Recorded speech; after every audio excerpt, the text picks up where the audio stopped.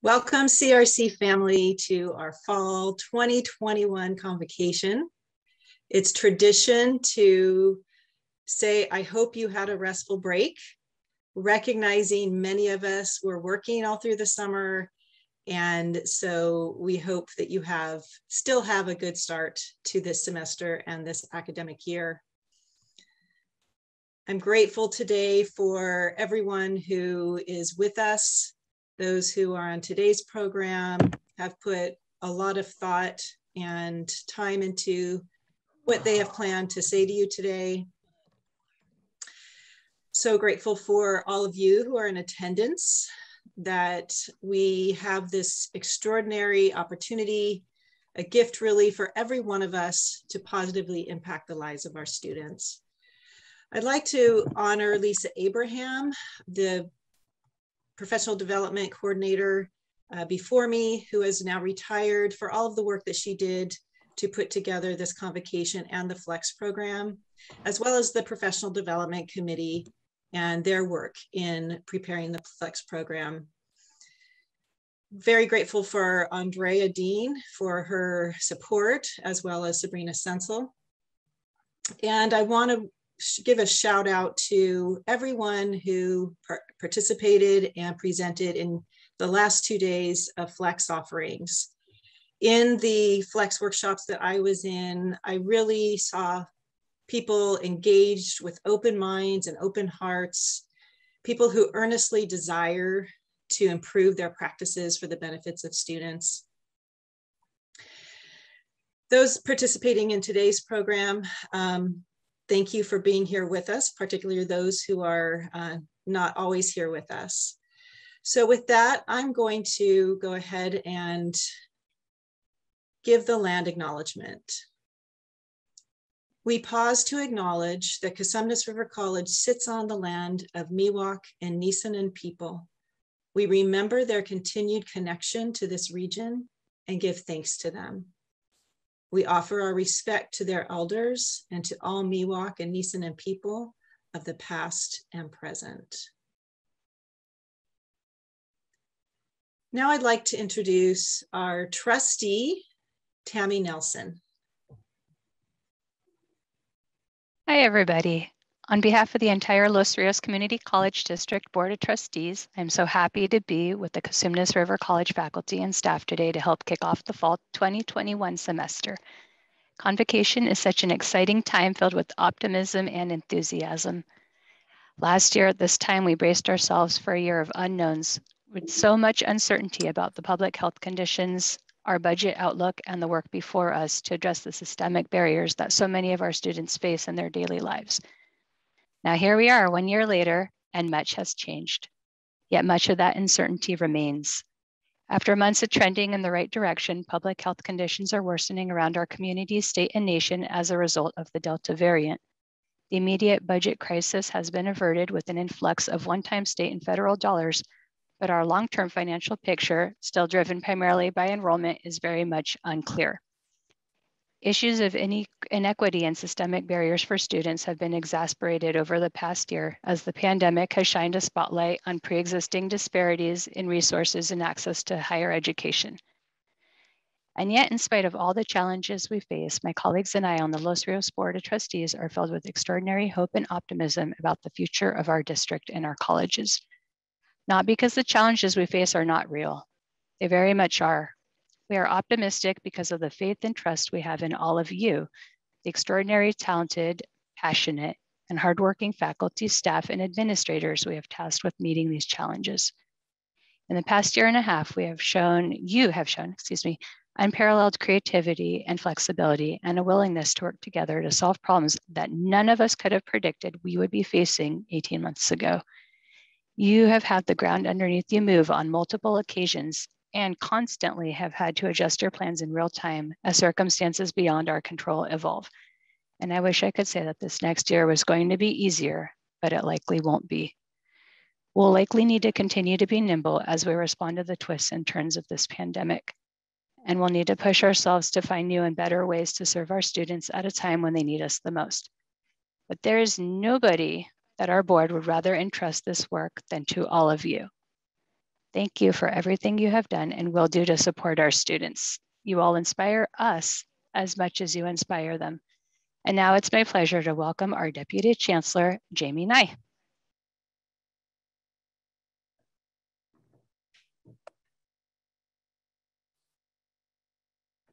Thank you, Trustee Nelson. Just waiting to do a screen share here. It won't let me if there's someone else uh, screen sharing. So if I can do that, great. Good morning. It's my pleasure to be here at CRC to help kick off the fall semester. The last time I spoke at convocation, I was speaking as the Academic Senate President at CRC about 15 years ago, and we were all together in the recital hall. I miss seeing everyone and I wish we were together in person. You were probably expecting to see and hear from Chancellor King today for his traditional remarks. I'm sorry to say that he can't be here because despite being fully vaccinated, Chancellor King tested positive for COVID 19 earlier this week. His symptoms have been relatively severe for a breakthrough case, but he is recovering and fortunately resting at home those of you who know Brian know that it takes quite a lot for him to be out. We were all thinking back to the last time he missed uh, work for being sick, and his office is right across from mine. And I remember when it was like four or five years ago, he was not looking good. No one wanted to go into his office. He was sort of staying in there himself. And uh, by the time he went to the doctor, he had walking pneumonia. He really wanted to be here today and asked me to wish all the all of the best uh, as we begin the fall semester. But his absence and his illness really underscore the severity and stubbornness of this pandemic and why the work to keep our students, faculty, and staff safe is at the top of all of our minds. To that end, I'd like to start by providing a brief update on the work district-wide to prepare our students and all of you for a safe return this fall. As you know, about two and a half weeks ago, our board passed a resolution directing staff to implement a policy requiring all students and employees who access our facilities to be vaccinated at least the first dose by October 1st. The goal is simple. Los Rios has the opportunity to lead by example and incentivize smart public health choices for our students and employees. We need to do everything we can to keep one another safe Implementing a requirement like this in such a short time period has been no small task. And colleges and district teams have been working night and day to build the necessary technology infrastructure and business processes, communicate about the requirement to our district communities, and plan for the impacts of this policy on our instructional and student services work. We've made a lot of progress in the implementation. So far, more than 11,000 employees and students combined have successfully uploaded their vaccination status to our new system. But there are still many unanswered questions and operational details we are working through.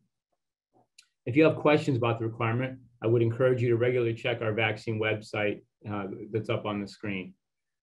We are updating this site regularly with the latest information. In addition to the vaccine requirement, we will also be following the Sacramento County order and requiring that everyone, regardless of their vaccination status, wear a mask when indoors in any of our facilities. We know there are questions about how we are going to enforce this policy, and we want to make sure faculty and staff have the tools they need to address any issues when they arise on campus. President Bush is going to remind you about the specific phone number to call at CRC a little later, but he's also already sent that out in an informational email. With the Delta variant leading to a steep rise in cases and deaths in our area and around the country, we believe that the combination of the mask and vaccine requirements will go a long way to keep everyone in our community healthy.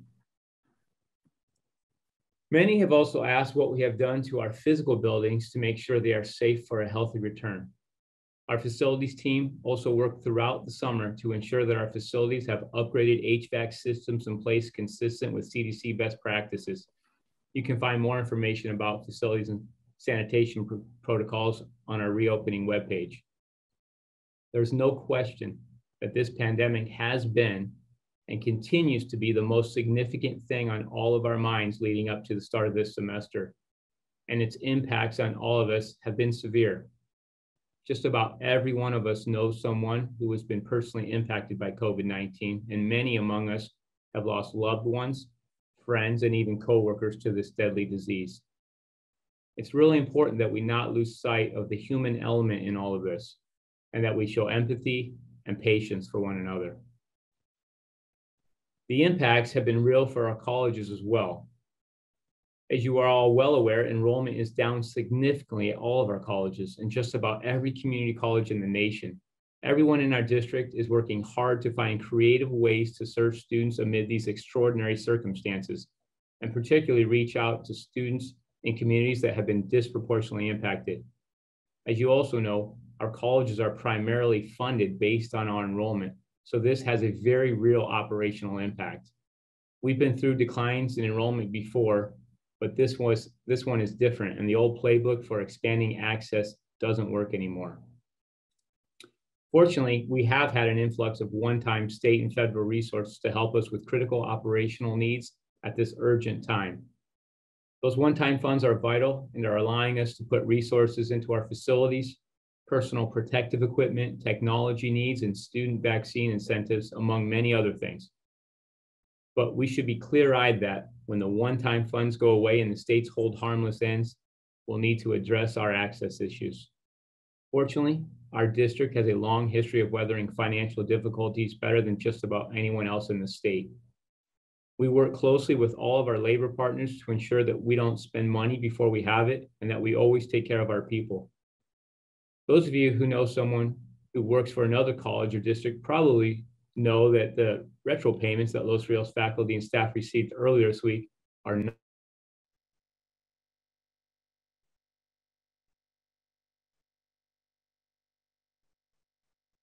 And my apologies. It's showing me muted. Am I muted right now? Okay. No, Jamey, you're fine. Sorry about that. My apologies. Always fun with technology. Um, to close, I'd like to reiterate the message from Trustee Nelson and offer my most sincere appreciation for each and every one of you for the work you've done in the past 18 months.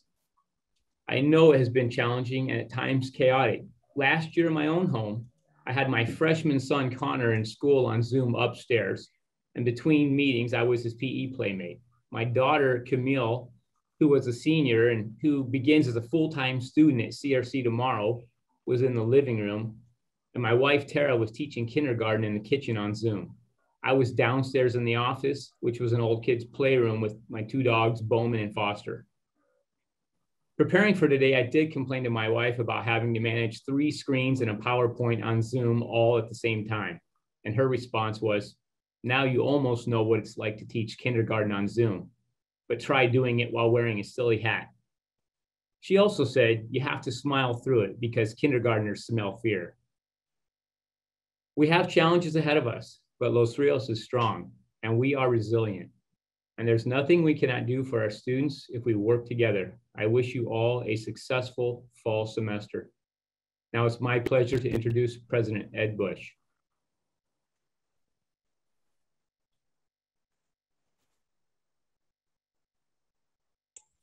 Actually, we are going to have a poem first.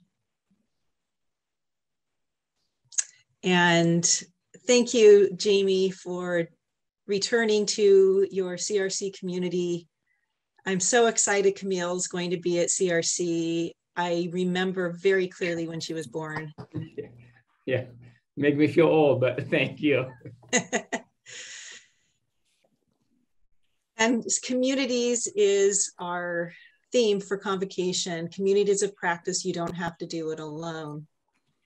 And I think now more than ever, we need to be able to rely on our people, our communities that we have in our departments and our divisions, um, the committees we're on, and those that we just form um, because we want to. And I just want to express my sincere gratitude to Dr. Jose Alfaro, who is a colleague in the English department with me and the rest of our English department colleagues, who's also the director of the Pride Center.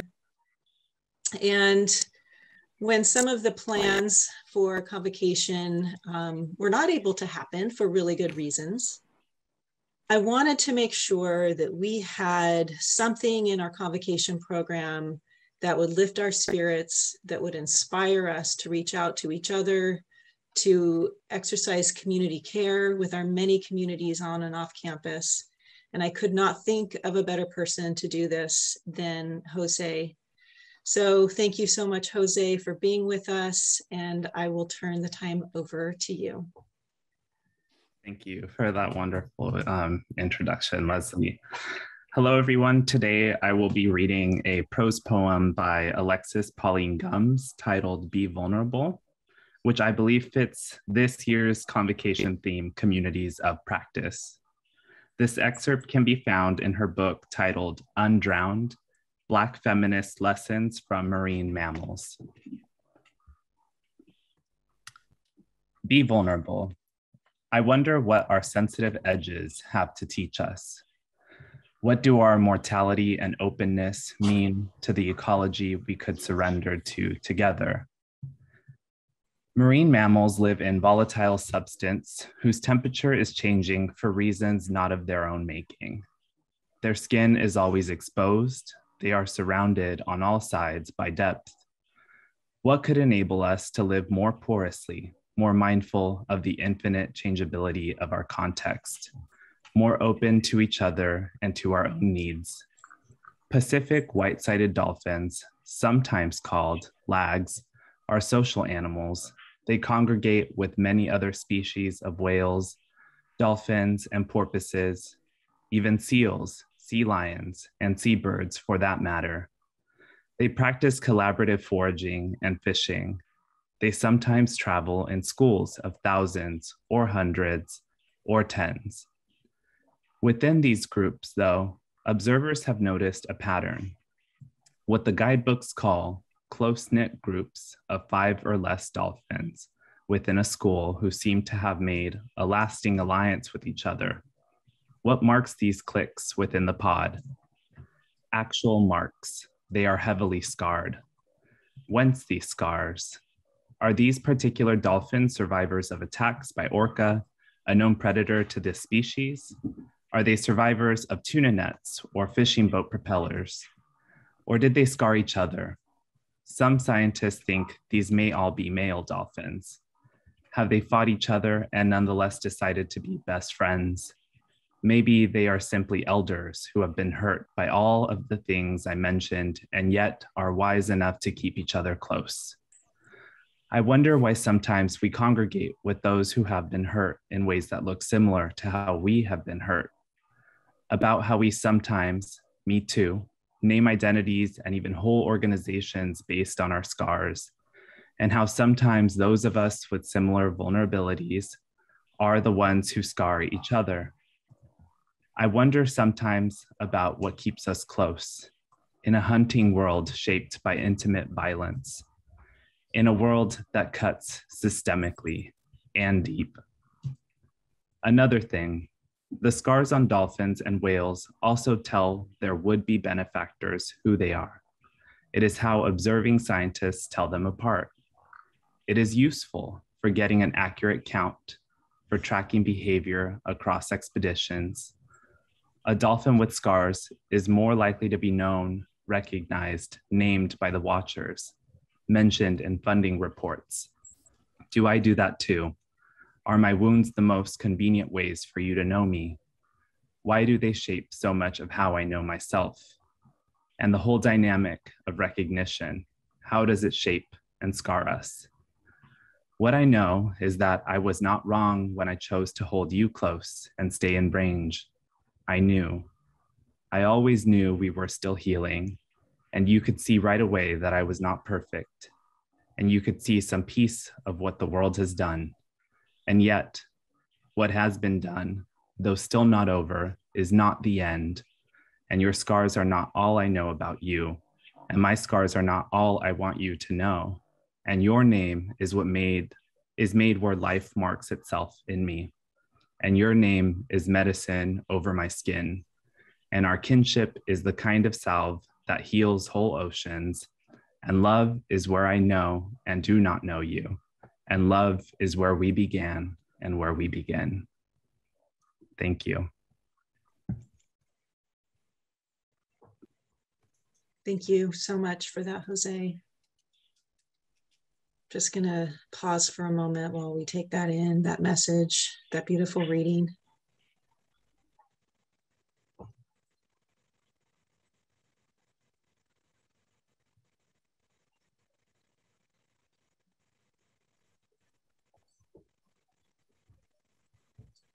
Thank you for setting that tone. Now it's my privilege and honor to introduce our president of Cosumnes River College, Dr. Edward Bush. Good morning and welcome to the best fall semester in the history of Cosumnes River College we could we could stop screen share for a second if, if we can. Um, I just want to take a moment to take you all in. If we could do this together, if you don't don't mind, and Georgine, you could send me an email later if you're there. Um, perhaps giving me a better way to do this because I know I'm not the expert. But if we could take a collective breath together, not just to center ourselves, but opportunity for me to get centered as well. Uh, as you know, that I never take these moments lightly. That anytime that I have the moment, and the opportunity to be able to share with our college community, uh, it is the most important thing that I could be doing at this particular point in time. So on count to three, on the third count, just take a deep breath in and we will take a deep breath out. One, two, three.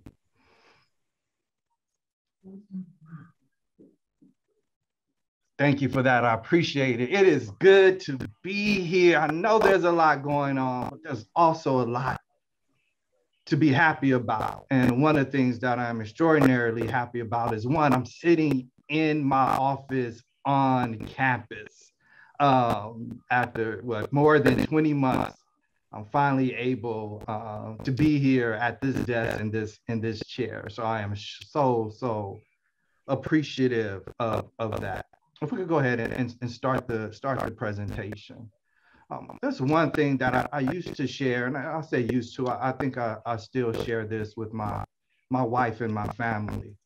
I say that no matter what's going on externally, no matter what conditions are surrounding us, um, no matter what trouble may be out there lurking, no matter what it is that we're going through, if we got each other, if we have each other, we're going to be okay.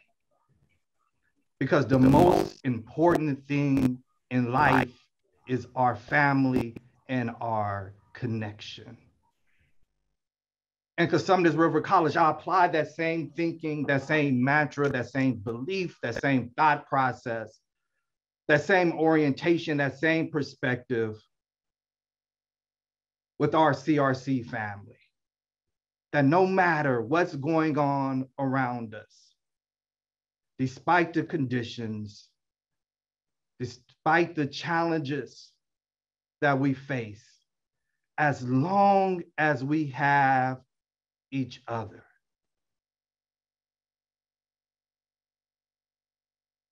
As long as we have each other. There's not going to be a force, there's not going to be an entity, there's not going to be a condition that we would not be able to overcome and address.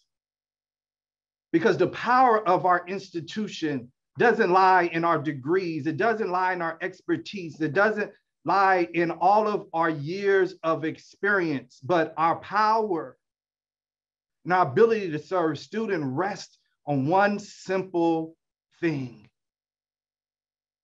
And that is our connection. When we operate and stay connected, when we move in unison, when we operate as a cohesive team and community, then the success of our faculty and our classified professionals, the success of our administrative team, and most importantly, the success of our students is inevitable.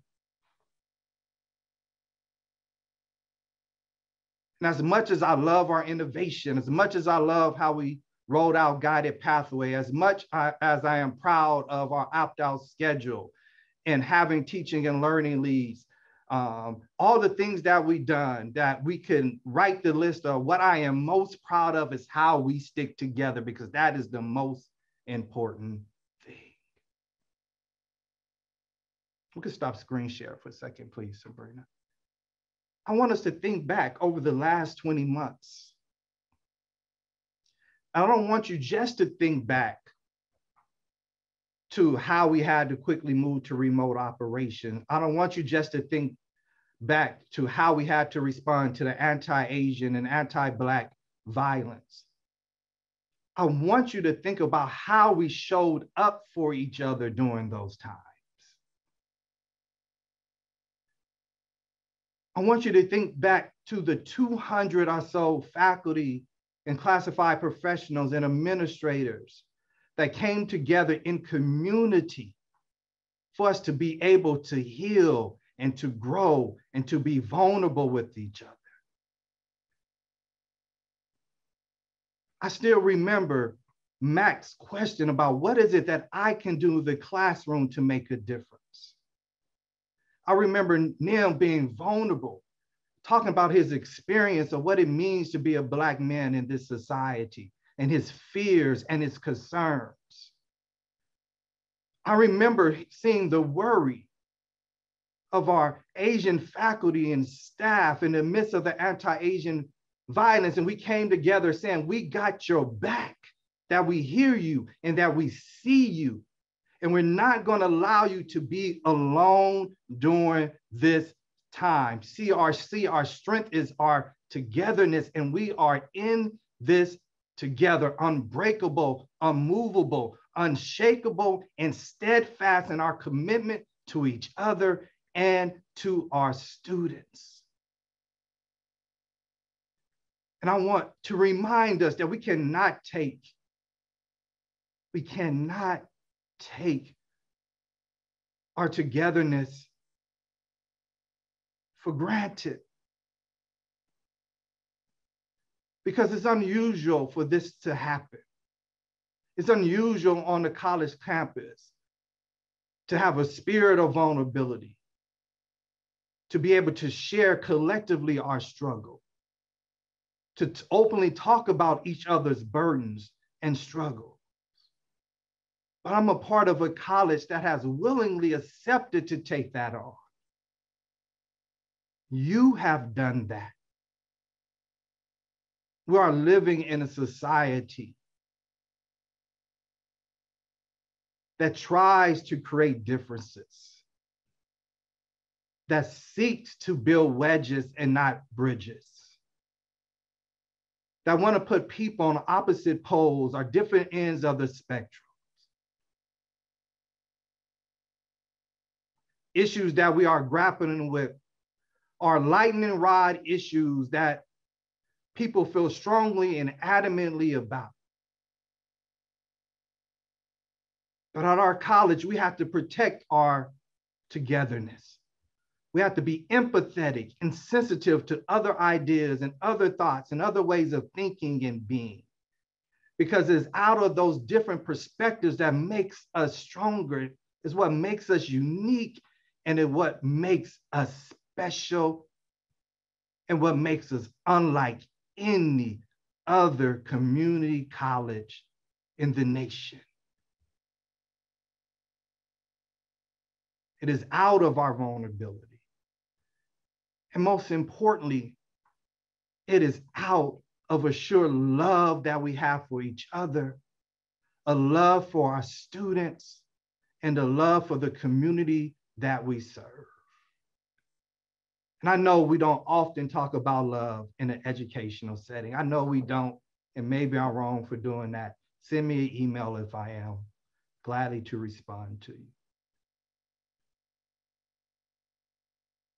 But that's the only word I could think to use that come close to adequately situating and contextualizing and describing the work that we collectively do at our institution. It can only be love. It can only be out of our sense of togetherness that you've been able to complete the monumental tasks that you have done. It's only out of love that allowed you to convert your material from face to face to online. It's only out of love that you hear our students' challenges and our concerns and give them the benefit of the doubt and support them in their struggles to ensure that they successfully complete your courses and your program. It's only love while our classified professionals, our IT staff, our custodial and maintenance team during the midst of a pandemic will still come on campus, making sure that our grounds are kept, to make sure that we are supported remotely. It's only out of that love that they will still come in committed to their job in the way that they are doing and perform it excellently. It's only out of that sense of togetherness and that love.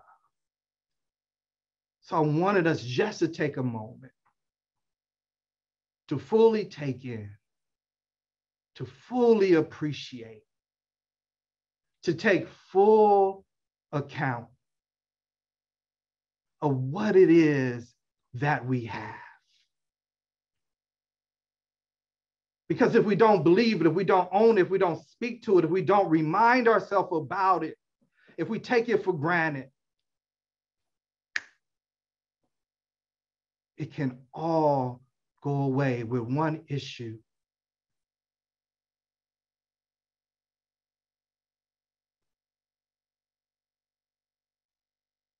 Then we're lost and we're stuck and we will no longer have each other. It's so fortunate that we work in an institution of higher education because we are bounded by a common mission, a common purpose, a core set of values and belief.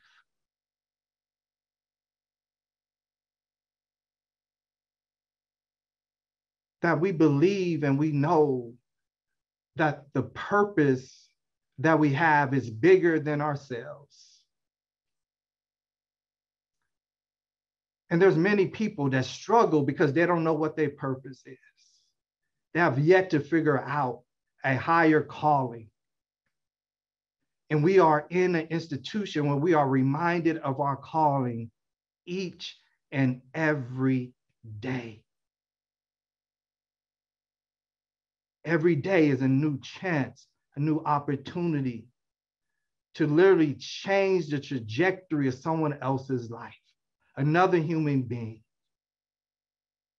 who's looking to find their own way in this world, looking to be able to navigate all of the struggles and the systems that may have not even been built or designed for their own benefit. But you pour into them. Even sometimes we don't have anything to pour out. And today, I want you to know, if nothing else, is that I see you and most importantly, I feel you. I feel your presence and energy residually on campus, even when no one else is here. That's how strong your presence is. That's how valuable your work. That is the type of impact that you have that I'm able to just show up into an empty campus And I could feel how Dan teaches. I could feel how Scott teaches. I could feel how Tiffany serves.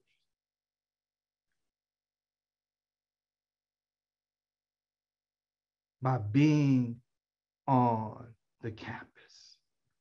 You are immensely powerful. Immensely powerful. I cannot think of a greater power than the power that you possess the power to teach, to impart, to heal, and to make whole. You have been the light and the hope for many of our students. You are the light and the hope for many of our students.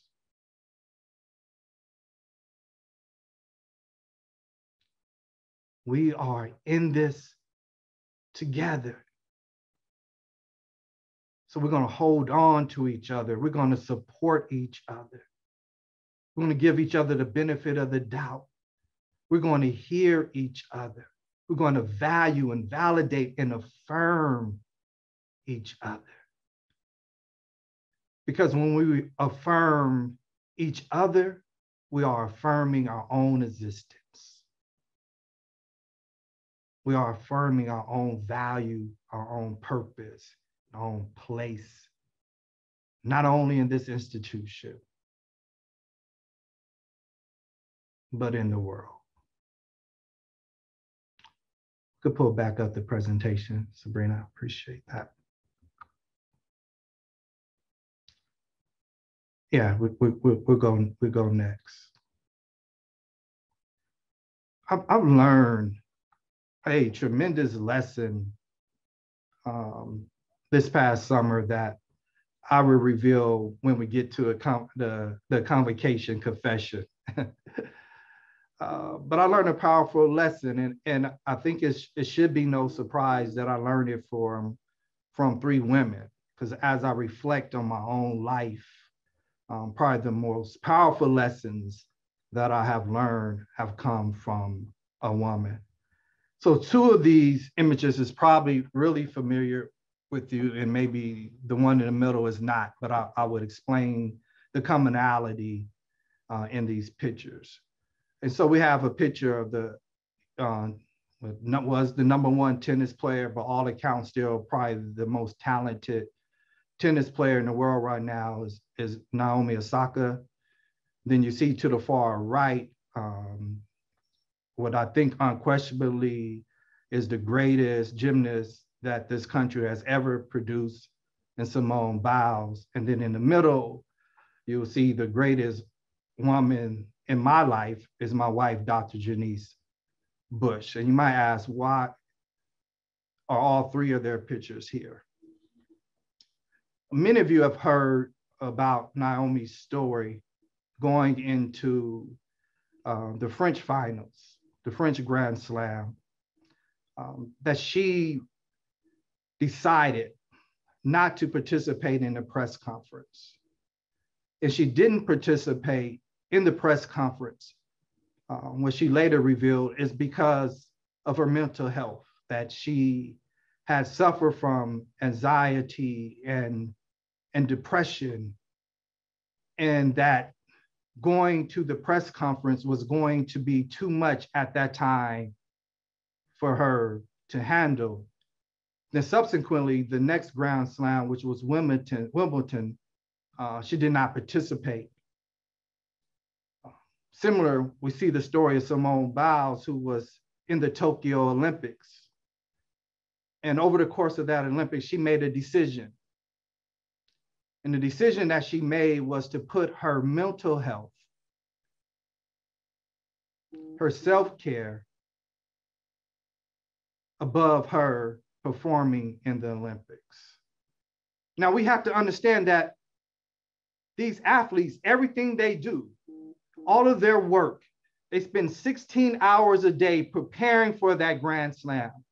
They spend 16 hours a day, probably since the age of two or three, if you're a gymnast and a tennis player, preparing for the Olympics. That is the seminal event. That is the culminating event there's money, there's notoriety, there's fame on the line.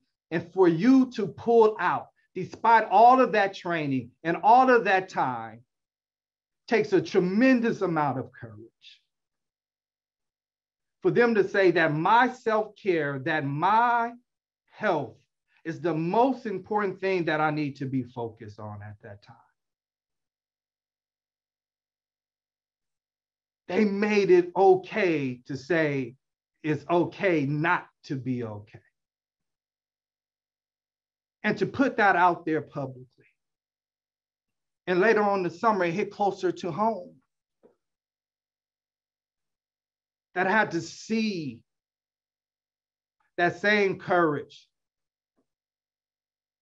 How to see that same courage come out when my wife was working in an environment where she was like, I'm not being affirmed. I'm not being valued or validated for my hard work. I'm not being seen. And she made a decision to walk away from a job that she loved. We could we could stop screen share for a second. And so the lesson that I learned, well, let me let me let me let me stop here because I, I, don't ignore chats. I, I, I you know I'll uh, pick up. Y'all, y'all know I'm pretty open. It's a lesson that I'm learning. And we all are learning lessons. None of us have arrived. I'm not perfect. I'm extremely imperfect. I'm still growing as a leader, still growing as a president, still growing as a man, still learning as a husband. Make ton of mistakes, make a lot of wrong decisions, and I own that. And one of the things that I did realize that I have to apologize. For me, oftentimes creating an environment where it wasn't okay not to be okay. For saying, we got this, we're gonna be okay. We're gonna get through this. Everything is gonna be all right. No, let's let's let's do one more thing. We we we could we could do it without first really checking in. I mean, really checking in to see how we were collectively doing and how you were individually doing. You know, are you really okay? And I think the lessons for this summer gives us an opportunity to really check in with each other. We know work needs to be done. And we know we'll figure out a way to do it. That's just what we do. We've been trained and conditioned to do that.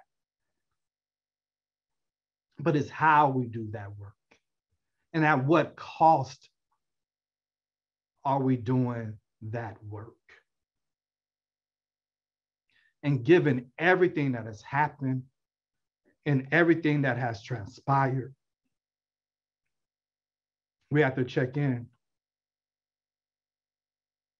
Now, see it said it's BS Constance. If I haven't checked in, in which I haven't, I apologize.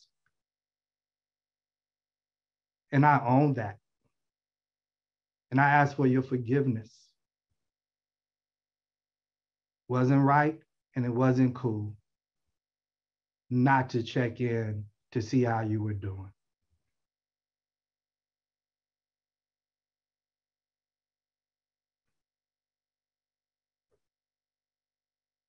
And so, what we need to do, what I need to do,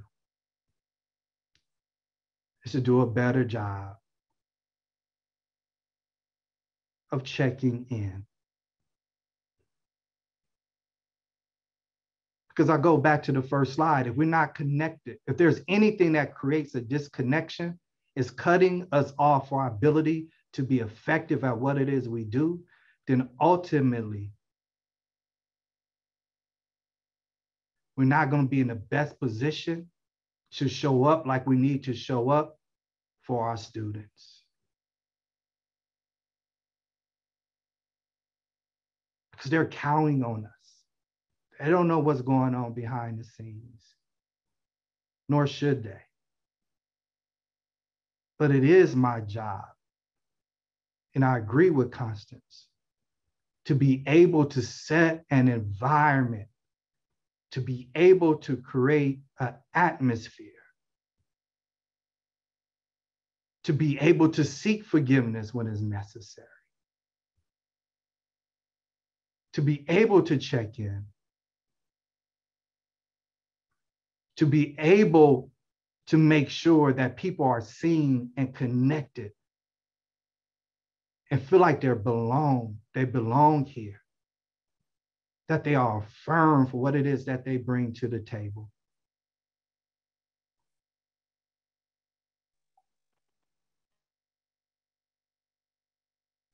And so my confession, and we don't need to bring up the confession slide,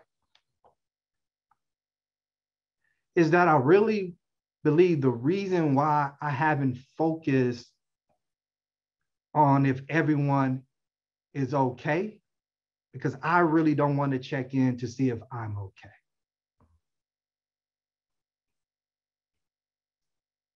Because if I really checked in with you, then I really have to check in with myself. and for a leader who is so driven about making an impact and making a difference.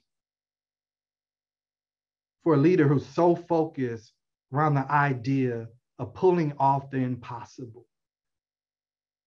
Someone who's been trained and conditioned like an athlete to do this work. I'm afraid that if I check in with myself, that the answer might be that I'm not okay and I need to pause for what it is that I'm doing. That I might need to pull myself out of the competition. That I might not show up to the press conference. That I might not participate in the Grand Slam. That I may withdraw from my event in the Olympics. So I do what I've been trained to do like many of us have been trained to do. And we keep on pushing and pushing and pushing and pushing till all of a sudden we give out and don't have any idea of why we are breaking down.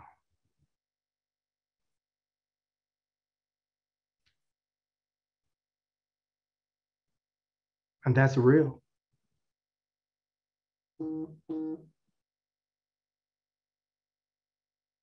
My saving grace. And the next slide was going to be gratitude. We don't need to pull that up. I just told you it was going to be gratitude. So you have the image of the slide that says gratitude in your mind. But I don't want to take my eyes off of you. I just don't want to do that right now. I don't think I can. I don't know if I keep it together if I'm not able to see you and look at you in the way I'm looking at you now. My saving grace is our connection. Saving grace has been that we in this together. That long as I know that I'm not by myself, as long as I know that I got my family, and as long as I know that I have my CRC family, I'm going to be okay. So I suffered some disappointments, a huge disappointment this year. Many of you know, know I was up for a chancellor job back in my home city that was going to allow me to move back to my house. And I didn't get it. But it was a couple of things out of that that I just so appreciated and didn't take for granted. Was the support of the college. In most institutions, when they president apply to a different position, all hell break loose. President loses any capital that they have. People begin to say they don't want to be here. They're looking to go somewhere else. They're really not invested. They're really not committed in the institution but you all have never treated me that way. I'm so thankful for that. You have allowed me to pursue professional interests and still, at least far as I know, and y'all may do a good job of, of, of keeping it quiet from me and not level, let it bubble up.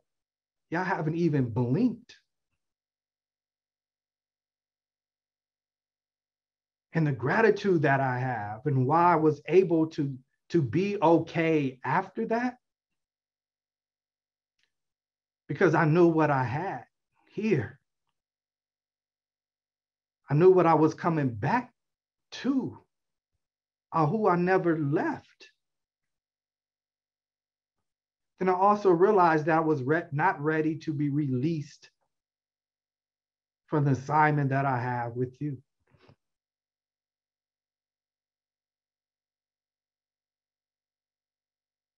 But it's because of that connection that brought me through that disappointment. So that's my confession to you. Not as cute, as fun as some of the previous ones over the years. But nonetheless, that's my heart. And I think what I value the most as being the president of CRC is that you have given me space to show my heart. And we have given each other space and permission to show each other our heart. So when I say I love CRC, when I say we are the preeminent community college in the nation, I'm just not blowing smoke.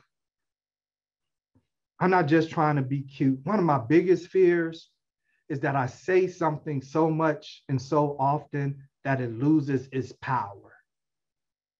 So when I tell you how much I love and appreciate and value you, when I say how much I love being here, when I say how special you are, when I talk about the difference of the lives of our students that we are making, I know I say that over and over and over again. And I say it over and over again because that's what I truly believe. So I pray and I hope that because I've said it, so much and I said so much. Hope that it still resonates. Hope those words still matter. I hope my approach still matters. When you sit in a seat for a really long time, as a leader, you wonder, do people still hear your voice or are they tuning you out? And so I often wonder, like, wow, you know, what is, you know, the voice in your head and how many of you have voices in your head? that try to convince you of, of some things that perhaps that you're not. And the voice in my head was like, yeah, they're not listening to you no more. They're like, oh man, another sermon. I didn't come here for that. Just tell me what it is that we have to do this semester and, and get it out of our way. The universe is, is, is, is, is, is uniquely strange and perfect. Scott, out of the blue, told me we was ending a one-on-one meeting. He said, Ed, I want you to know that we appreciate you. I don't, I just want you to know some, something is telling me that you need to hear that. And I absolutely needed to hear that. Thank you, Scott. And me and you may have these same voices in your head that's telling you that you're not appreciated, that your work is not really making a difference. Are your students really, really listening to you? Are they are they taking in everything you're saying? Are they really learning? You know, you're a counselor. Are the students really going to hear your advice? Or they think you're just telling them something just to tell them? know, classified professions or people really know what it is that I do? You know, what is the voice in the head that's telling, you know, am I good enough? Am I am I worthy enough? Do I belong here? know, that imposter syndrome, all of us have those voices. And if you have those voices, I want to do for you exactly what Scott did for me yesterday. And tell you that we appreciate you more than you ever know. That we understand that you have your own struggles, your own issues that you are dealing with, but you show up for our students.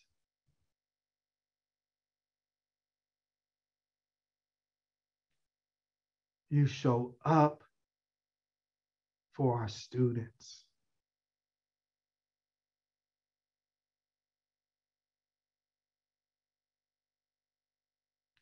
And you show up for each other.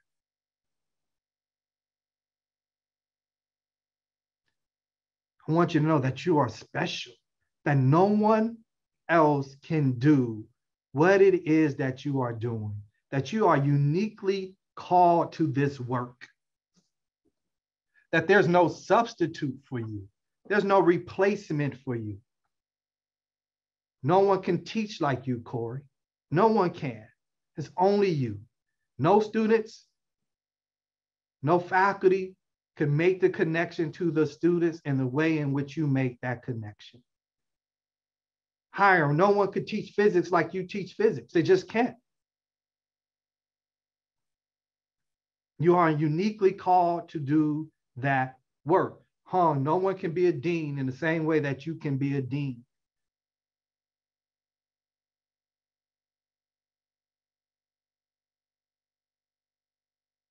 We are weakened. We are vulnerable when we don't acknowledge and respect and value the individual gifts and talents that exist in our organization.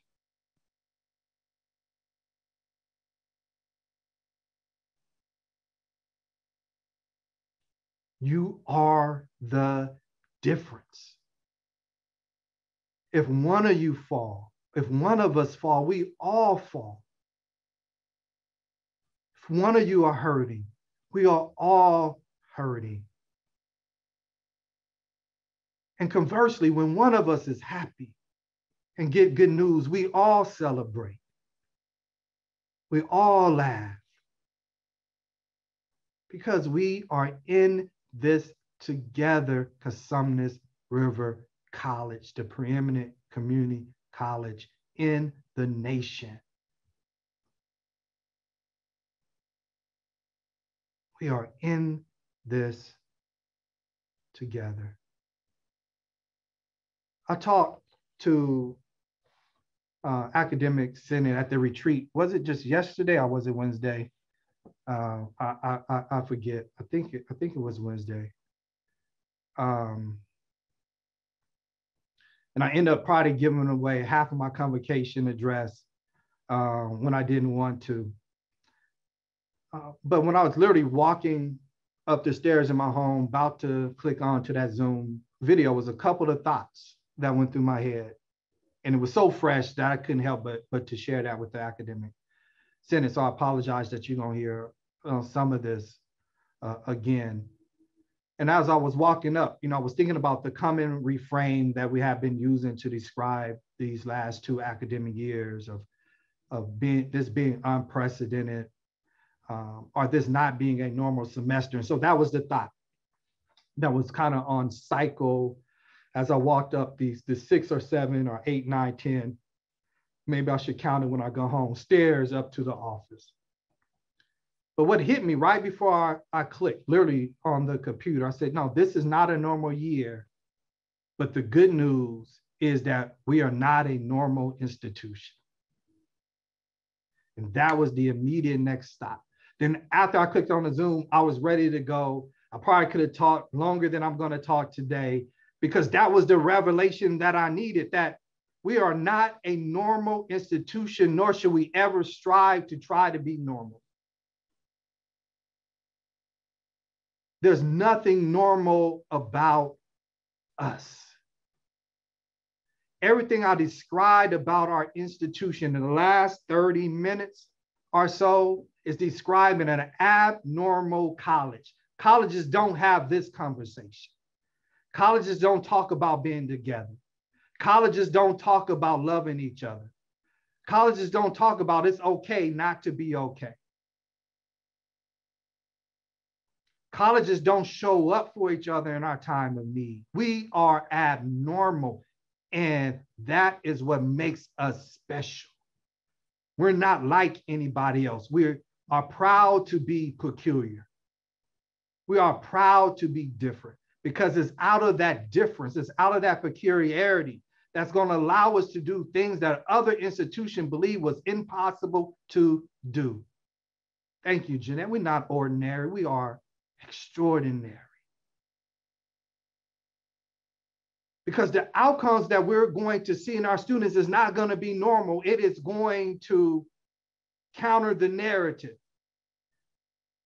It's going to represent a new trajectory for our students. It's going to buck the trend.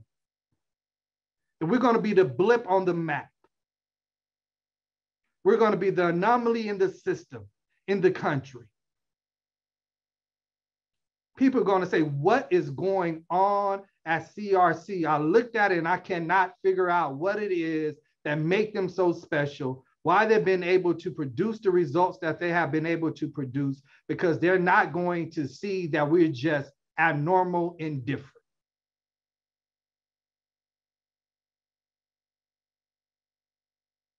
We are just different. So Sabrina, would you go to the slide? We're gonna go to the abnormality slide. So I thought it would be fun to just try to list what are some of our characteristics of not being normal. And I know it's not normal. I'm fortunate that I get opportunity to visit, to talk to other leaders throughout the system, not only the California community colleges, but throughout the country. Um, particularly in the last 18 months, I've been able to spend some time with a lot of different colleges virtually. So I'm pretty confident and assured when I say that we're just we're just different, y'all. Put in the chat different. Yeah, we're just different. We're just different. And we're going to own that.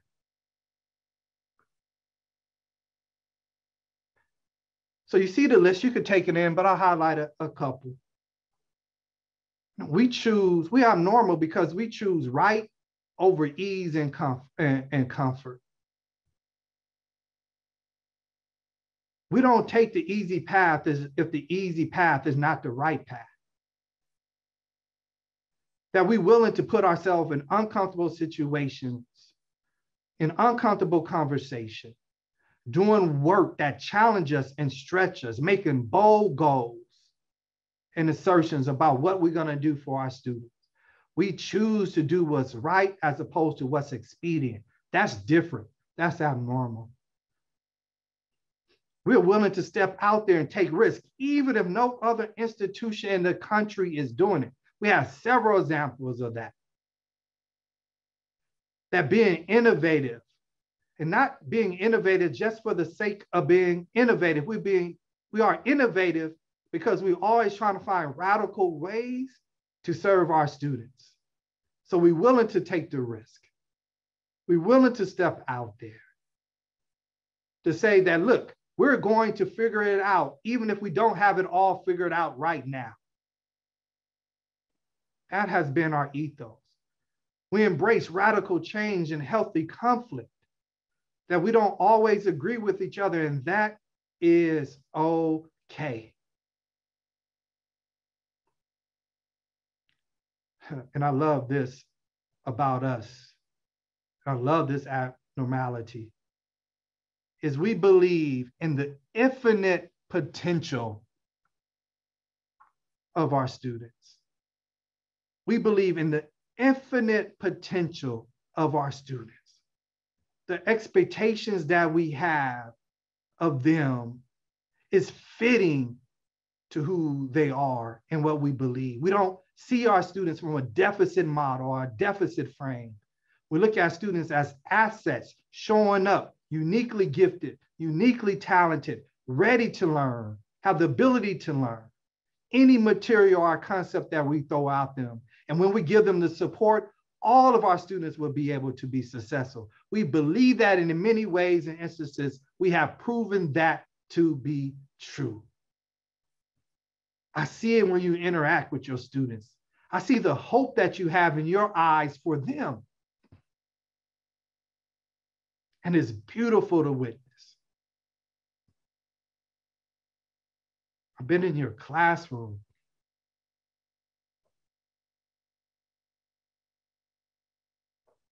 Seen the magic happen.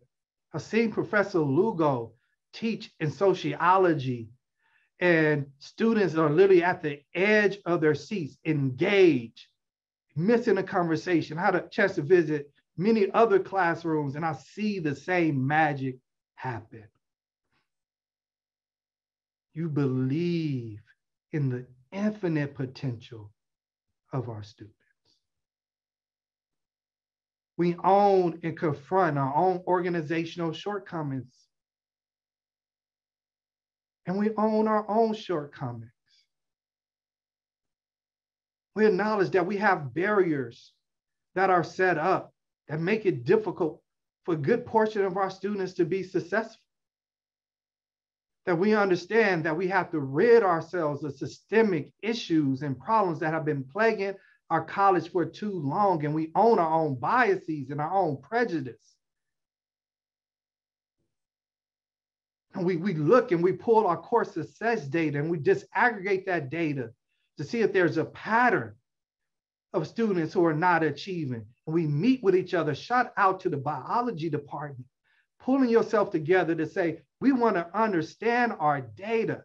We understand, want to know who students are being successful and why not. Having a difficult conversation around African American student success, Latinx student success, and trying to grapple with those questions. I know that there's other departments, so forgive me for not calling out your, your name, but that, that is happening throughout our institution.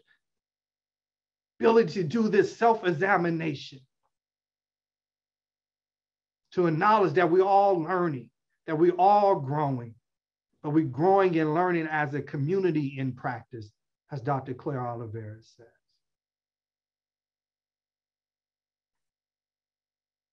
We value each other's role equally. And to the extent in which we haven't, we own that and say we would do better. I think Buddy talked about acknowledging and appreciating our classified professionals and to the extent in which we have treated our classified professionals as unequal partners in this work, we need to collectively ask for forgiveness, to say that we cannot function without you, that you are the foundation, you are the drumbeat, you are the heartbeat of our institution. You are co partners in this work. We assume positive intent extend grace, and give the benefit of the doubt. That's not normal in an organization. We seek to dismantle systemic barriers by asserting an anti racist and anti sexist ethos. That in our mission now, since we are an anti racist institution, now we affirm the ideas of justice and fairness and we're so different as an institution, even with those that had a different perspective, we still heard that perspective and begin to think about how we can craft language that will be able to speak to the heart and mind of even those who are unsure about that language. That's how different of an institution that we are.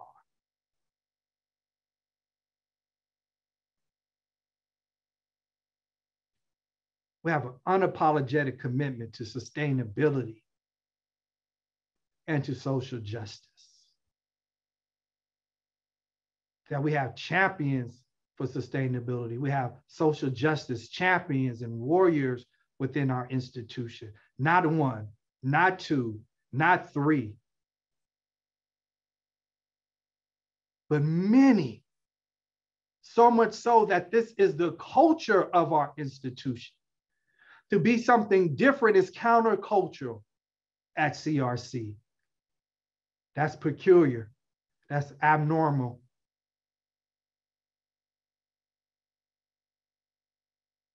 And second to last, that's the last thing you see. We openly strive for excellence. We openly strive, strive for excellence and willing, y'all get this. And we've been willing to hold, hold ourselves accountable for being excellent. Where that happened at?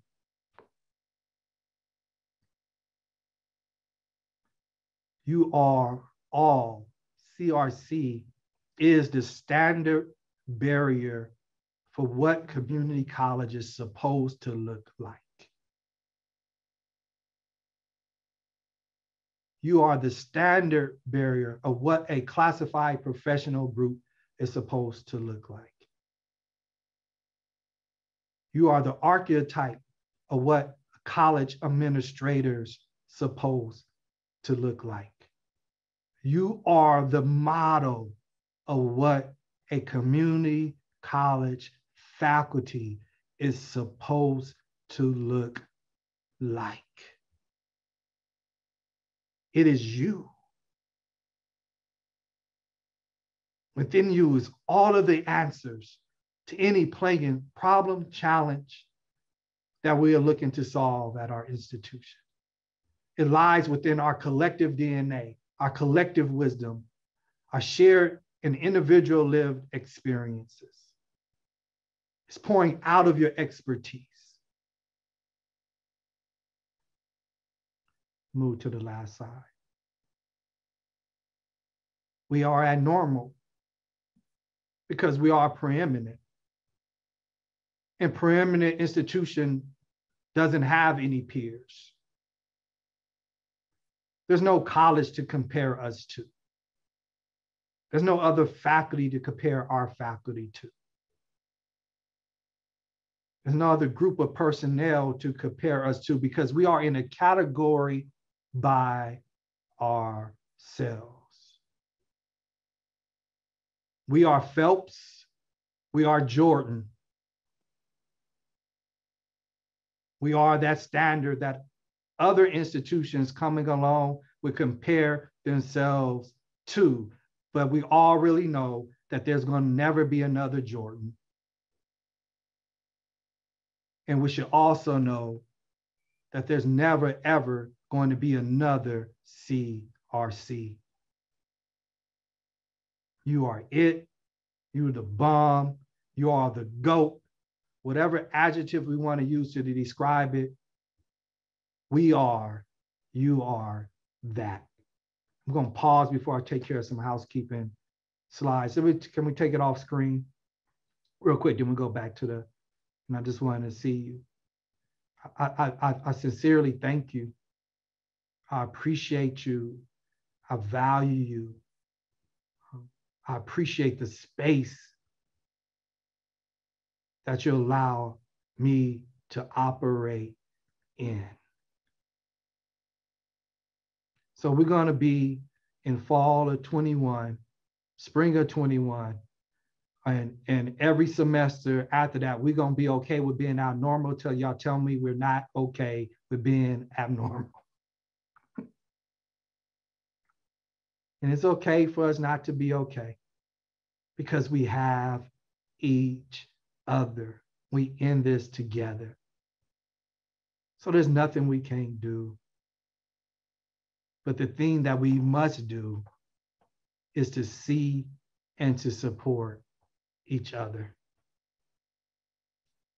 All right, we could go to the housekeeping slides and then I'll turn over my time. You heard um, Deputy uh, Chancellor Nye talk about the information that Robert Montez, the Vice President of Instruction, sent out yesterday afternoon. Uh, you should have this in your inbox if you haven't had a chance to see it already. But one of the things that we want you to know, and you can see this information, so I'm not going to cover the, the, the, content exactly, but what we want you to know, uh, faculty, on this first week of class, that administrators, we are showing up for you. Uh, we're, we're, we're not leaving you to your own devices to deal with any issues that might emerge in the first week of class because of the mask mandate. So we're going to be proactively out in front of the classrooms, walking the, walking the campus with our masks, that if there's a issue that emerge, if a student is resistant, um, we want to address that before they walk inside of your classroom. Uh, if something happens, um, then we, there's a central number you call. We don't want you to have to scramble to find who can come and support you. You see that number there in bold, in parentheses, or you just call that number and one of our managers would come to be able to provide you the support uh, you need uh, inside of the inside of the classroom. We'll also have a number for you to contact for those of you that teaching on ground in the evening. And for those faculty that are on ground, we, we got you, we have your back. We appreciate you stepping out there. Um, we do not take you for, for granted. And so with that, we wanna make sure that you feel that you are being more than adequately supported uh, during your time that you are on campus. I always just ask for you to refer to that email to get um, the information um, as I know I'm not going through each of the lines on my, on my slide. Um, next, I have the pleasure and the privilege to introduce our new managers. Let's give a collective round of applause uh, for the new manager introductions. A uh, couple of familiar faces in new in new places. Um, we have the ongoing support. I don't think Bob ever really gonna retire. Um, you know, we we we have um, you know gaps in in the deans and Bob Johnson has continued to step up to fill those gaps. So Bob is doing another stint with us as interim dean of automotive construction and design, uh, an area that he is quite familiar with as a as a former dean and also uh, his time as a as a faculty member. Uh, we are also very pleased to welcome Dr. Emily Mitchell, who's our interim dean of social and behavioral science, a fellow UC Riverside alum. So y'all know she's good with me. Uh, we are happy to have you. Um, and this is really great too. Um, Dr. Uh, Camille Moreno, Interim Associate Dean of Science, Math, and Engineering, a long time committed, dedicated math faculty. Uh, welcome to administration, uh, Camille. Glad to have you. Uh, and we welcome to our college community, to this abnormal community. We welcome uh, Brian Rickle, um, Dean of Arts, Media, and Entertainment. Welcome, um, Brian, to our community.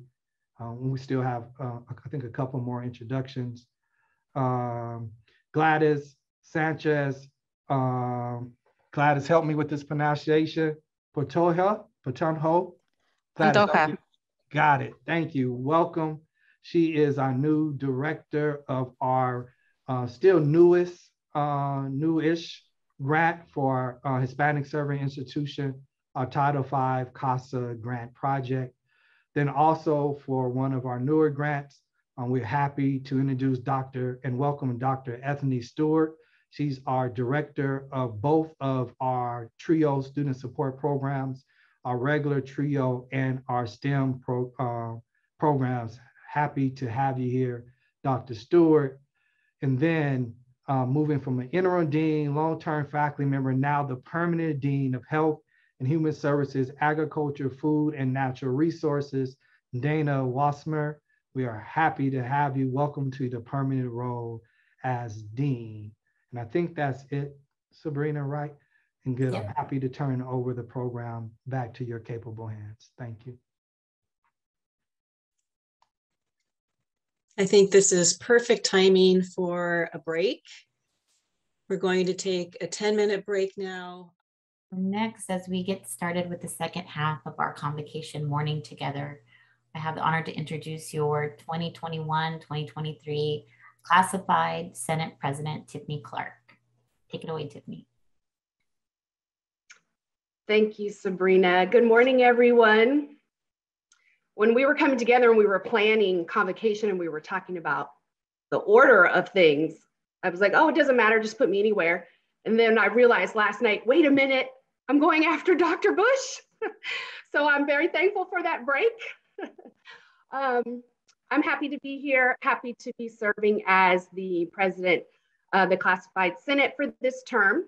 And I want to take a minute and just introduce and recognize uh, my executive team, our executive team. So we have Clarissa Correa serving as vice president. We have April Robinson, who's serving as our secretary. Julie Elliott is serving as treasurer. And then we have Julie Olson as our past president. We have a wonderful team of senators as well. And you'll see under each senator's name the areas that they are representing.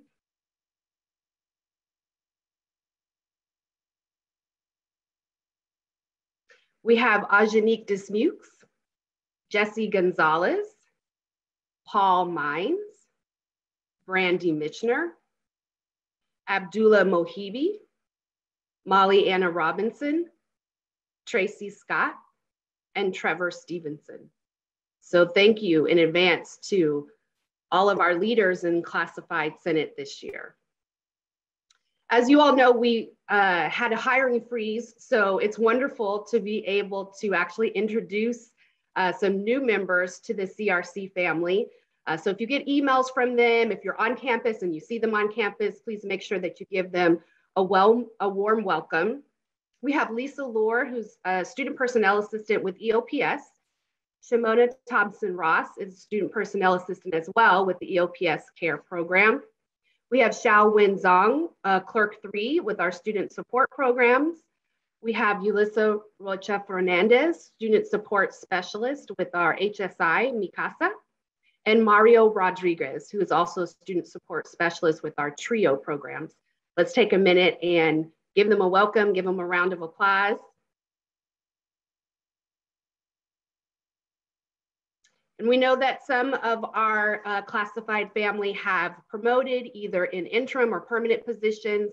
Um, folks have been working hard on uh, degrees as well. And so we want to congratulate you also and recognize you. And we will do so formally um, at our spring convocation.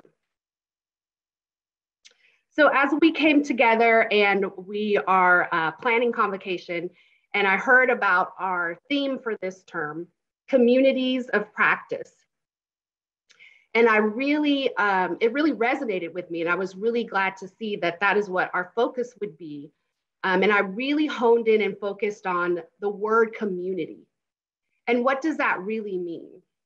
And funny enough, one of the first images that popped in my mind, and those of you that are superhero movie buffs may remember this scene from Guardians of the Galaxy.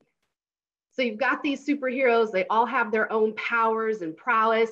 But when they were up against Ronan the Conqueror, it wasn't until they came together that they were able to generate enough power to overcome their enemy.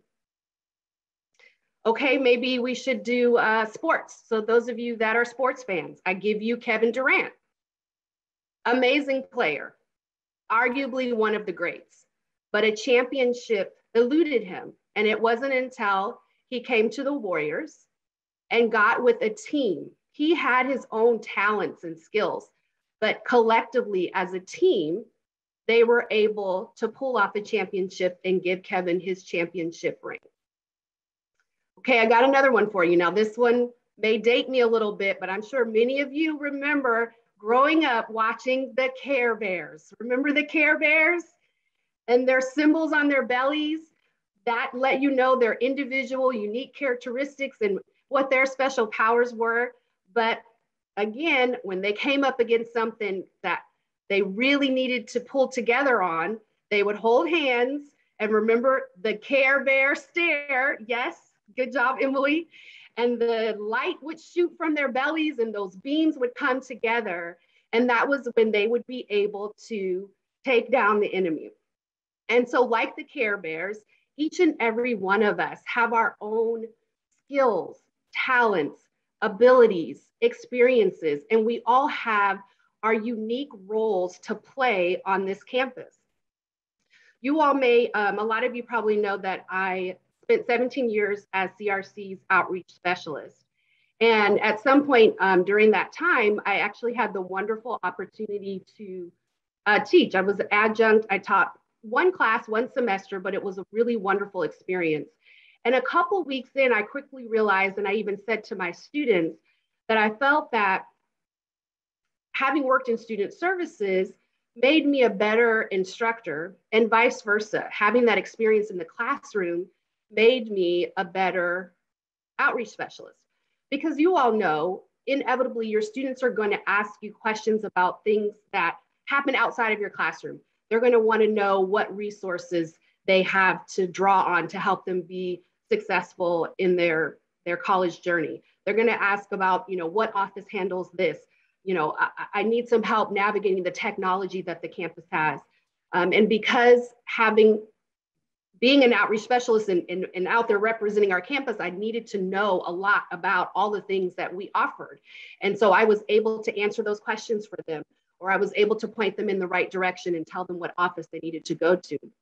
And then being out and talking with new or incoming prospective students, they want to know, you know, well, what is college life like? What is it going to be like in a college class versus a high school class? What are going to be the things that are expected of me? And because I had that hands on classroom experience, I was able to give them that. And so, not all of us are going to have that experience, right? Not all of us are going to be in the classroom, or not all of us have worked in a classified position. But what we do have is each other. We have each other. And I could give you more examples and and you know some of them sound cliche. Uh, you know, Proverbs tells us that iron sharpens iron. We hear the term so often, it takes a village. And we often hear that in relation to our personal lives, but I would argue that that is the case in our professional lives as well. We need each other, we need community. And if nothing else, these last 16 months have taught us that we need our neighbors, we need our family, we need our loved ones to help us get through these difficult, unique times. And I want to leave you with this quote from Maya Angelou I come as one, but stand as 10,000. And we may not literally be 10,000, but when we come together as community, we can have the power of 10,000. I also want to leave you with um, that image of the Care Bear and that symbol on the belly. You know, as Dr. Bush said, we're all unique. We all are special. We all have our own talents. You, your role is important. You wouldn't be here if you weren't good at what you do. And you can fly. You could fly on your own, absolutely. But together, as it says on my shirt, together we soar. So let's soar together this semester. Thank you. Thank you, Tiffany. Really love the imagery.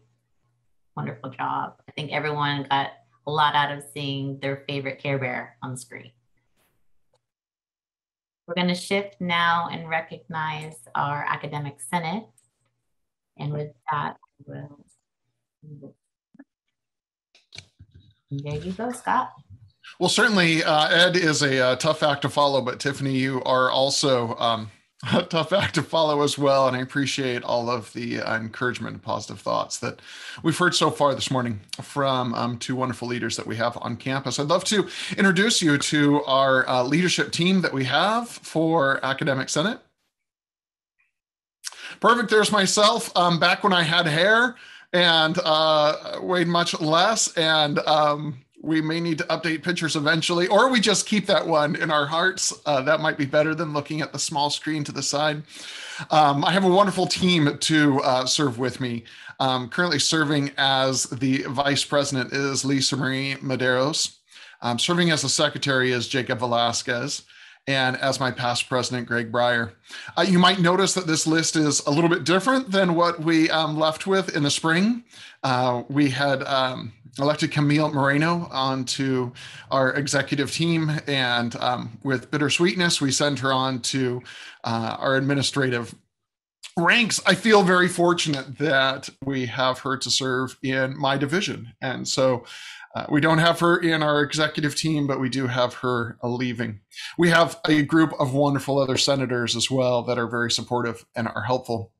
Uh, before we move on, I want to talk a little bit about this crowd of people that we have here on the slide. The um, four of us and, and the three people that I have here with me. Um, I know about um, some of my weak spots. I know about some of my blind spots. I know some of my strengths, but um, it seems that at times those weaknesses come forward even faster. And I am so grateful for this team of people because Lisa Marie, Jacob, and Greg um, have my back and um, they're able to um, see those weaknesses, and I'm able to be vulnerable with them. And uh, they um, support me and help me to um, bring my strengths forward and uh, protect me from my blind spots. And I'm so grateful to them for their support already and uh, for their continued support. So, um, wish them luck in uh, trying to keep me on the straight path and uh, I'm very grateful for them, and I'm grateful and uh, more than anything humbled by this opportunity to serve in this position. Um, I had an experience the other day that um, I'd love to share. Uh, as faculty, I think we have these experiences more often than anyone else, but there were two parts, right? I want to share kind of what happened, but I also want to share the uh, the goosebumps and and the good feeling. So, uh, very common for us as uh, faculty members. Um, Brenda and I were in the store uh, the other night, and a girl comes running up, goes, "Hey, professor! Hey, professor!" And uh, it was wonderful to see, and uh, took me a moment to you know to register who this person is because we have students um, depending on how long we've been teaching there are a lot of students that have been through our classroom so fernanda was there and she was there with her brother and i introduced brenda and so i asked fernanda so so where are you at what are you doing and uh, well she had just graduated from berkeley and um, I'm a Gaucho myself, but you know, Berkeley is still a very prestigious college. And I go, oh, wonderful. Well, what was your major? And um, oh, I was studying law. I'm getting ready to go to law school. And um, I started to get the goosebumps, right? I started to get that great feeling that we get when we see our students succeeding. And um, it was it's great. And uh, for faculty, this is all very familiar. We know this all very well. But um, I wanted to take those goosebumps and that good warm feeling and share it with my campus community because uh, it wasn't just me teaching physical geography to Fernanda that um, helped her through. It was all of us um, that and and all of the the coursework that prepared her so that she was ready to to make that transfer. But certainly it wasn't just us. We have an amazing team here on our campus. Um, we heard from our team captain. Uh, Ed Bush just earlier, but we have this extraordinary team of people that are all there to support the Fernandas to support those students who are progressing through and are succeeding um, from making the classroom safe and enjoyable and a peaceful and a beautiful place for me to be able to uh, teach to making our grounds a beautiful place, to supporting Fernanda and um, counseling and in student services and in the bookstore and finding something to eat. We're all part of this team on our campus. Um, we also receive a lot from our administrative team as well in terms of um, being able to have the facilities that we need in order to teach the courses that we need to have um, the materials that uh, are needed to teach. And i'm just um, wanting to share that warm goosebumpy feeling of seeing my students succeed with all of you uh, and hope that as we move forward that we can remember that it is for Fernanda that we're here doing what we do. Um, and although, you know, I'm not going to, I don't have any Marvel or basketball or Care Bear references, that we all are part of this team. We are part of this community and we are all helping the Fernandas to succeed. I'm grateful to uh, be in this position that I'm in. I'm humbled to be in this position that I'm in. I appreciate the support from so many already and um, hope that we can continue to support each other as we move into these um, abnormal, uh, extraordinary times. Thank you so much. Back to you, Sabrina. Thank you, Scott. I appreciate everyone showing up and sharing just what this community means for us, for each other, and for our students. I have the very um, honored pleasure of introducing, reintroducing for some of you, um, our Vice President of Institutional Equity and Research and Planning. And I want to take a minute just to kind of gather and organize so I don't fumble the ball and go in the other direction. So give um, patience is very much appreciated.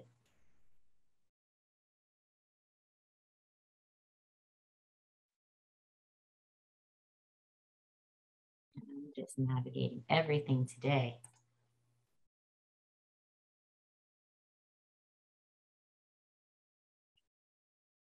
I don't think I can spotlight myself, but you can hear me and, and it's more important that you can see our ASL interpreter. So I'm going to get started.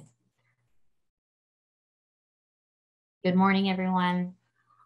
Before we get started into our, our last segment of community and practice with Dr. Claire Oliveros, I thought you should know a lot about her and her story and what she brings to CRC. Dr. Claire Oliveros is a social justice educator, activist, and scholar, raised in the Pacific Northwest with a multiracial family and identifies as a cisgender Filipina. Claire has lived most of her life in Portland, Oregon, and moved across the country from Oregon to Virginia to California within the past six years to be with family.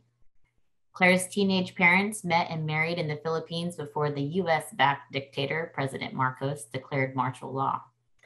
Claire's white Jewish mother and Filipino father left Manila to live in Portland with her maternal grandparents and begin a new life. After two short years of marriage, Claire's father moved to Los Angeles to be near a growing Filipino community before his immediate family could immigrate to the United States 10 years later. Growing up in Portland with her white Jewish mother and grandmother, Claire spent some of her early childhood years living in Pasay City, Manila, Philippines, and with her Filipino father's immediate family before they were eligible to immigrate to the US.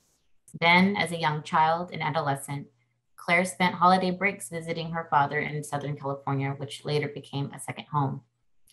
Dr. Oliveros was the first in her family to attend college. She is a proud TRIO graduate, earning a Bachelor's of Arts degree in communication from Western Oregon University, her Master's of Science in Education Policy, Foundations, and Administrative Studies at Portland State University, and a doctorate degree in education with a specialization in community college leadership from Oregon State University. Prior to coming to CRC, Claire served as the assistant provost for student success initiatives at Virginia Tech in Blacksburg, Virginia, and as the chief student services officer at Chemeketa Community College in Salem, Oregon. While at Portland Community College, Claire served in various leadership roles as the TRIO Student Support Services Director, the inaugural interim district director of equity and inclusion, and the founding coordinator of the Multicultural Center and Men of Color Mentoring Program at Sylvania campus. Claire has developed and led anti-oppression curriculum and leadership training for students and employees within the community college and university settings.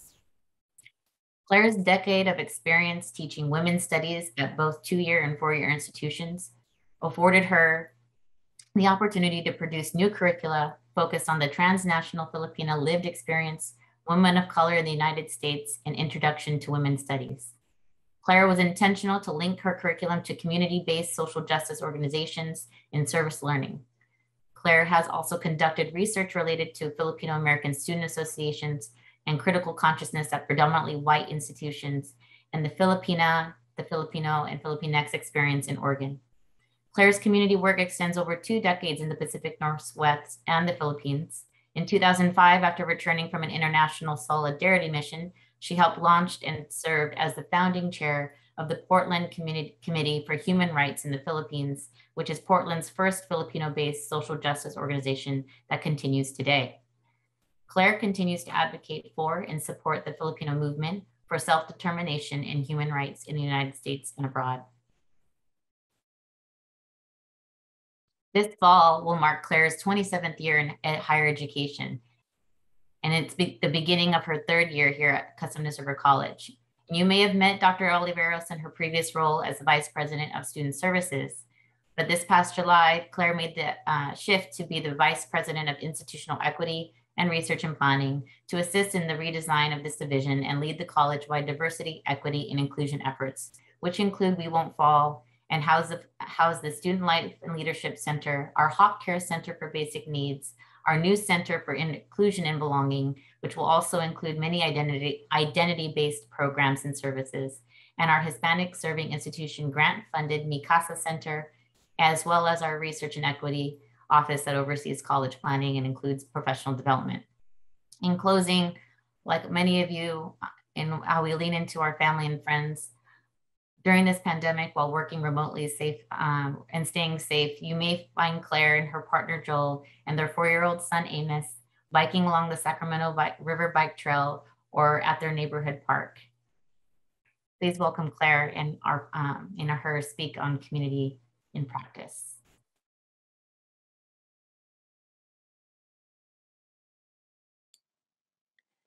Thank you, Sabrina. Thank you so much for the warm welcome. And please join me in acknowledging Sabrina Sencil as our Interim Dean of Equity and Research and um, provocateur in organizing our convocation. Thank you so much and appreciate the warm welcome.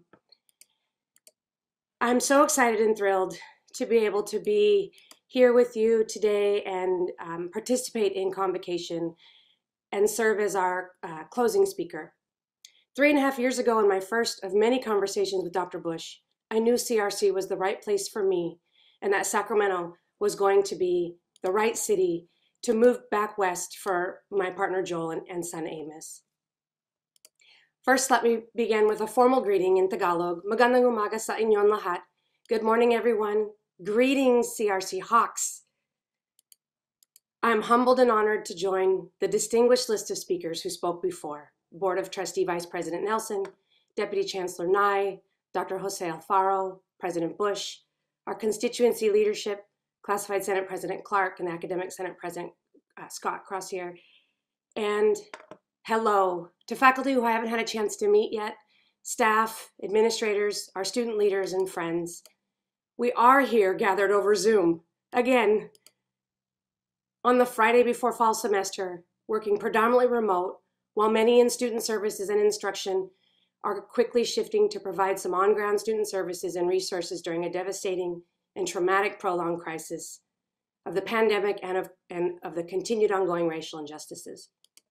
And so knowing that we're holding a lot and that we are a lot, we deserve to claim space right now and pause to participate in collective community breath.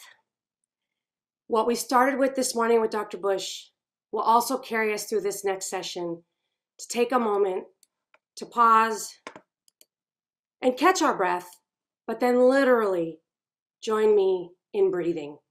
So if you could take a moment, pause from whatever it is you're looking at or doing, whether you're on camera or off. Be with me in this present moment. If you're sitting, relax into your seat with feet firmly on the ground with a tall spine if you can. And if you're standing, stand tall, shoulders back, and relax. Rest your arms comfortably on your lap or placed at your heart or on your belly. Draw your gaze downward or gently close your eyes and at your own pace, take a deep breath in and count to three.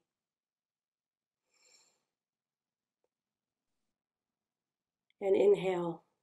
And then exhale slowly and count to three.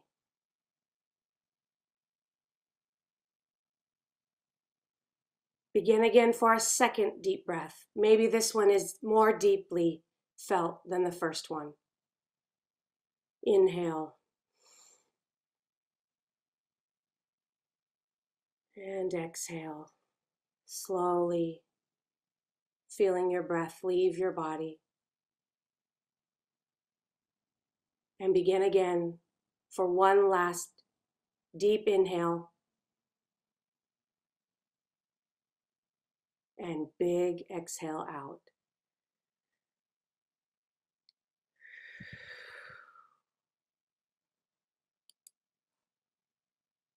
Slowly bring your gaze back up or open your eyes. Share screen or, or share video or not.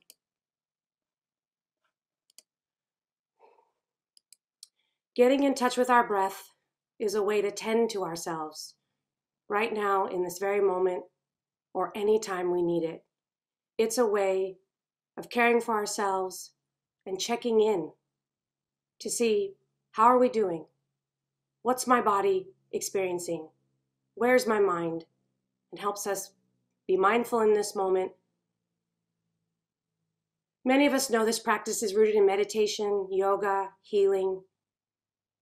There's tremendous health benefits of breath work and meditation. It helps us release toxins and take in more oxygen.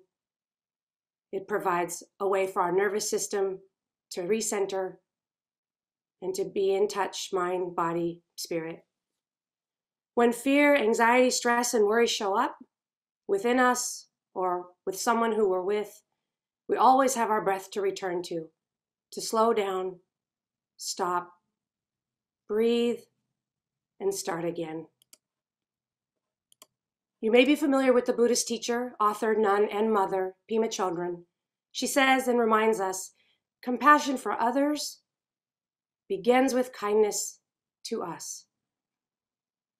We're not always gentle and kind to ourselves, especially during stressful times of the year, and stressors can cause grave harm. Think back to the first shelter in place in March 2020. We were forced to slow down and shift and do things dramatically different for a period of time. Today, we've collectively experienced over 17 months of being away from our campus community and the jobs that we once knew. And all of us have had to adapt and cope in some way with the feelings of isolation, loss, grief, guilt, suffering, uncertainty, and more unpredictability. And for some of us, this has been a time that has forced us for personal reflection, transformation, change, a reawakening, a renewal, and return to possibilities. We know that the past year and a half hasn't been easy, and we've been holding a lot. It's been a heavy time. What we also know is that we are not alone and don't have to suffer in silence. This is a time for us to ask for help. We have an opportunity to embrace our equity minded approach to being in higher education, to draw in a trauma informed framework, to reimagine what community is, to think through how we reboard ourselves, new employees, and students. And it's an opportunity for re entering campus spaces and a life that is more inclusive, more welcoming, more equitable, and responsive to trauma and healing. Because we know everyone has been impacted in some way or another and that this is the time for us to prevail and experience both sides, both joy and suffering, hope and fear. It also may feel a little like deja vu all over again, except the reality is we know it's worsening, and we know we can prevent a more disastrous fall and fight infections by getting vaccinated, getting the booster, wearing our masks, and modeling a community in practice of care, love, healing of ourselves, each other, and our students. We get to write a new chapter in CRC's history of this era, of the pandemic era, of the racial injustices era. We get to pen a new version. What will our story be? Will we write about how the dual pandemics were the catalyst to create change and center communities of care, support, healing, and justice? Will we write and talk about how this era forced us to be more mindful, interdependent, advocates and agents for social change? Will we recognize our interdependence and interconnectedness? We really have a gift before us to recreate and reinvent ourselves as we start this next semester. This gives us opportunity to be in community, in practice, deepening our relationships to ourselves and to each other. As we begin to come out of a prolonged lockdown and ongoing crisis in waves, we must find different ways to survive, thrive, and flourish, and center our health, mental health, physical health, and wellness, and acknowledge that our equity work must be trauma informed and responsive to the communities that we serve and that we belong to. As we move into a second year, the We Won't Fall campaign, our college wide campaign to tackle and dismantle racial inequities, to focus our strategies and actions on the academic success of our Black and Latino, Latina, Latinx students, is critical to build and continue to build on how we imagine a college that believes together we will soar, as was penned on the shirts that we're wearing and that the shirts will continue to buy, we have an opportunity to soar. What would it mean for us together to soar and to take up hawk like behavior as individuals, as a collective, in a flock, soaring?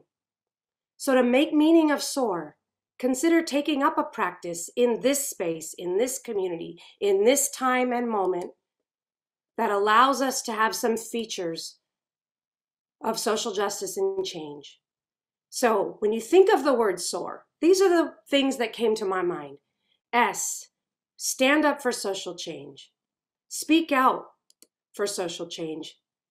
S, seek out support and serve in solidarity, following the lead of the most impacted by forms of oppression and injustice.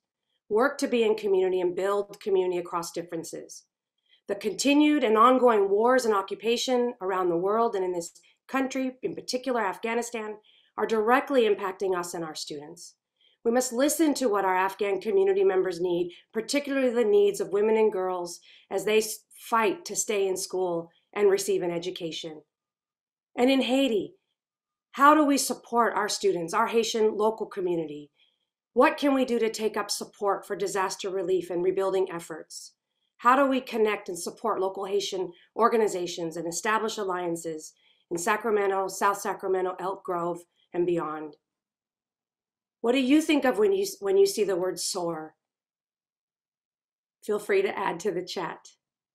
Oh, oust institutional barriers, overcome and oust your old habits. Oust oppression in all of its forms and remove institutional barriers and recognize, observe our role and positionality in holding on to institutional traditions, practice, procedures that harm our friends and our students. Ask questions like who benefits and who loses from the decisions we're making. Are we being inclusive in our practice or are we being exclusive in our formations, our conversations, our emails, our planning, understand that the lived experience of others, capital O, outside ourselves, are opportunities for us to create connection, togetherness. it's an offering of openness and acknowledging one's privilege and opening the door to someone who doesn't have access. How do we, we, how do we remain open to social change with a capital O obligation to serve and be served. We deserve, we deserve the world we are trying to create. And many of us are creating because we haven't been able to get the things that we need. So we help make options and opportunities possible. We build the future we want to be in.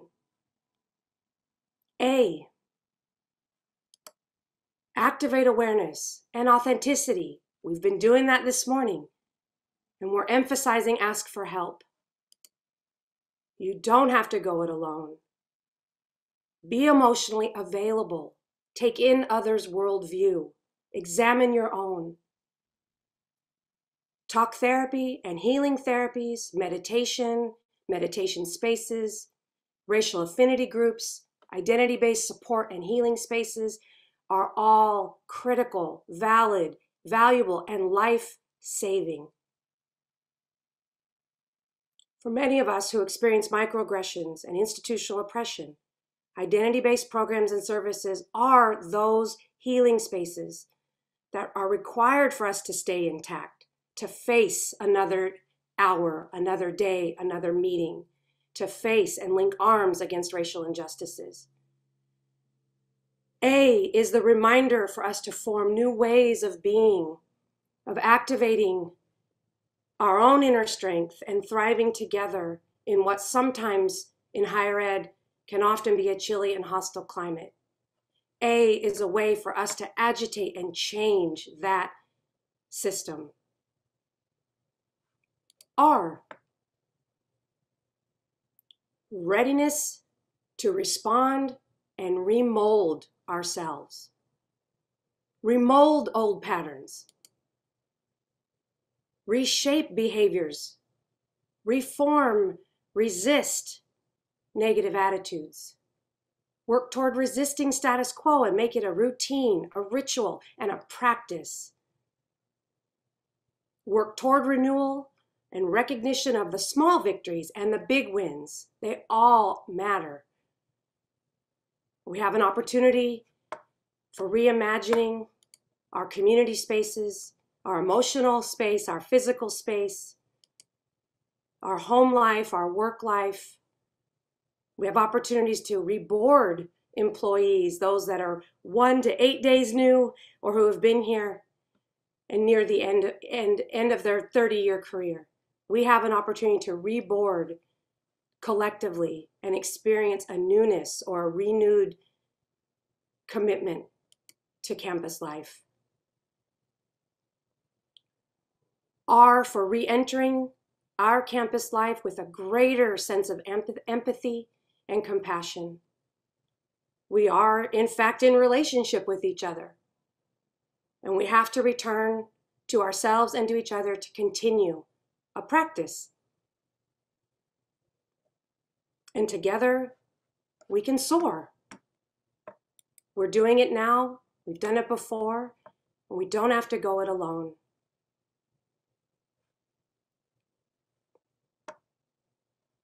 So, as you think about soar, what does it mean for you?